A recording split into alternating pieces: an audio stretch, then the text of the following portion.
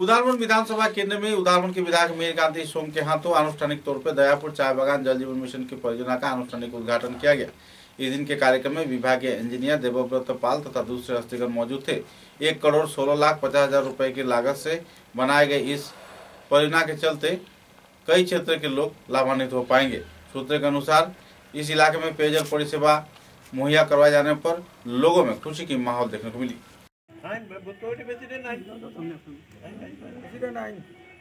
আপনি এটা কাটুন আমি আছি একটা আইন ইঞ্জিনিয়ার স্যার আইন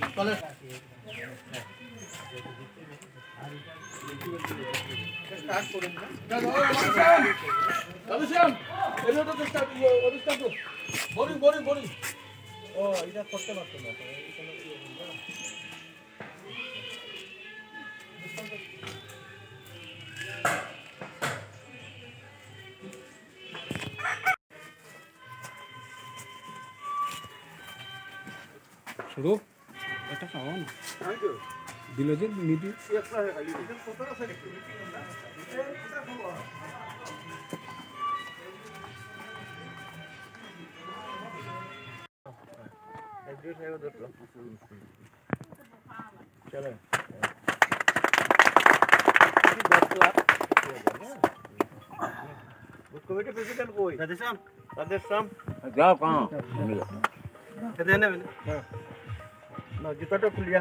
দেখো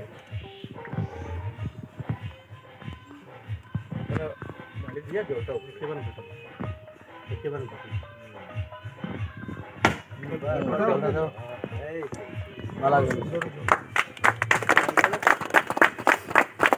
রাখি দাও নারিকল নিচে।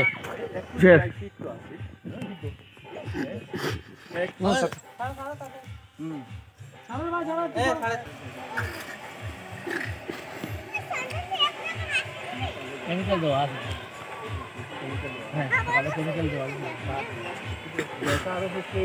আরো কিছু সকালে উঠাইছি কেমিক্যাল দেওয়া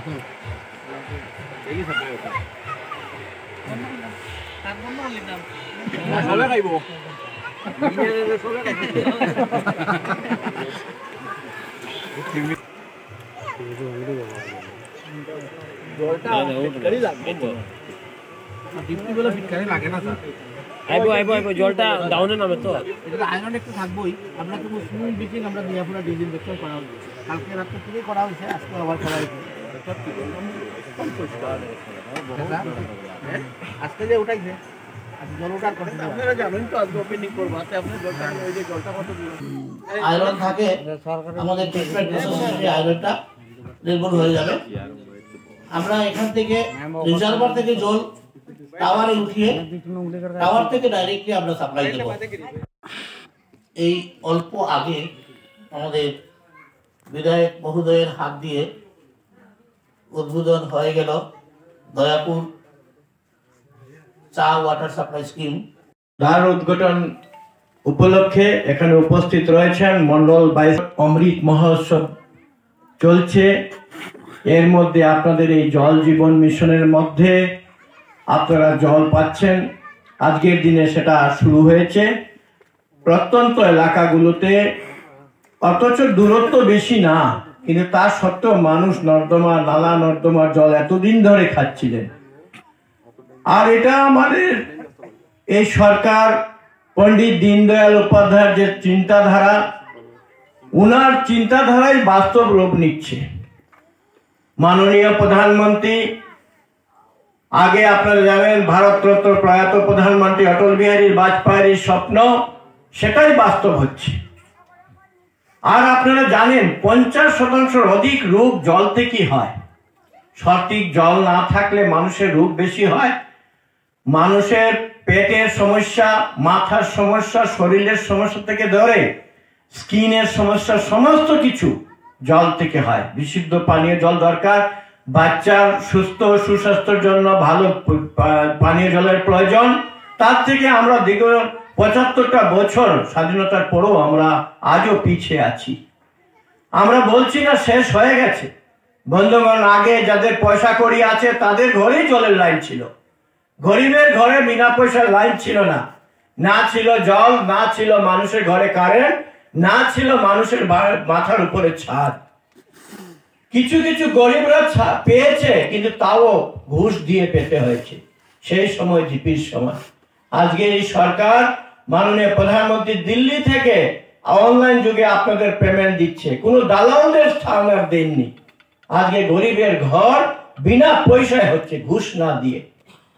যদি কেউ ঘুষ দেয়, এটা তার নিজের দোষে দিচ্ছে। ওর নাম অনলাইনে আছে, ও জানে ওর ঘর হবেই। তা সত্ত্বেও এলাকার কোনো দালালরা এসে ভুল বুঝিয়ে তার কাছ থেকে পয়সাটা নিয়ে নেয়। গ্রামের বাগানের, চা বাগানের সহজ সরল মানুষ তাদের কথায় বিশ্বাস করে ওদেরকে ভোট দিয়ে দেয়। আগে একটা বৃদ্ধ ভাতা পেতে গেলেও ঘুষ দিতে হয়েছে। আজকের দিনে অনারা পাওয়ার আপনারা হচ্ছে সবাইকে আপনাদের সেই অরুণোদয় যোজনা আপনারা পাবেন।